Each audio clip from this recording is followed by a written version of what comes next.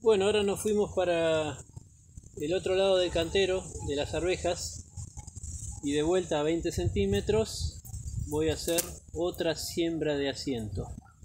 También de otro cultivo de ciclo corto. En este caso eh, lo que voy a sembrar acá es otra planta de la familia de las crucíferas que es la rúcula. Eh, también a unos 20 centímetros. La rúcula se le puede hacer un corte y, digamos que vuelva a salir. O se puede directamente arrancar cuando uno la cosecha. Yo cuando la tenga que cosechar voy a ver cómo está los demás cultivos. Si si me parece, digamos, que va a molestar que yo la deje, la cosecho arrancándola. Y si veo que todavía le falta, porque el cultivo de la arveja va, va lento y el otro cultivo que voy a tener acá en el borde también, le hago un corte y dejo que rebrote. Normalmente rebrota una vez bien y después ya no, no tan bien. Entonces, normalmente a la rúcula le puedo hacer un corte y después sí después de ese primer corte arrancarlo. ¿eh? Entonces al lado de las leguminosas como la arveja, planto, perdón, siembro de asiento una curcubitácea, que en este caso es la rúcula.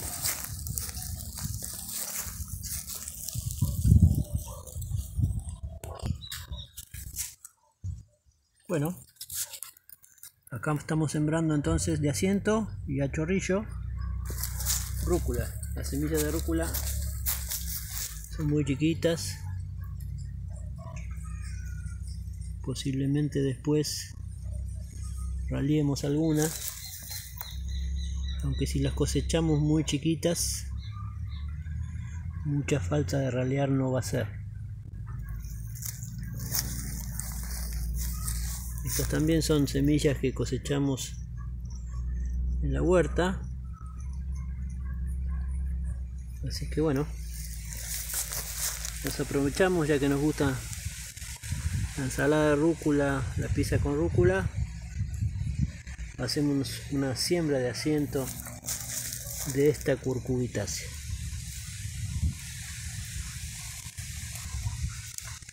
Bueno, terminamos entonces de sembrar la rúcula.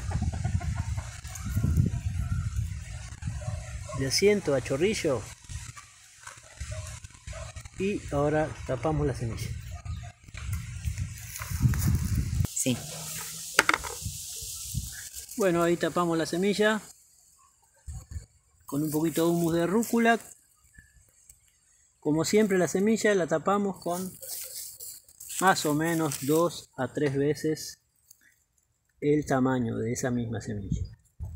En este caso la rúcula si son chiquititas, ¿eh? poquito, poquito sustrato para taparlo.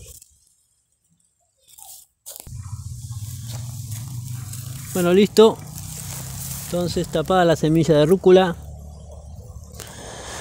de esta siembra de asiento.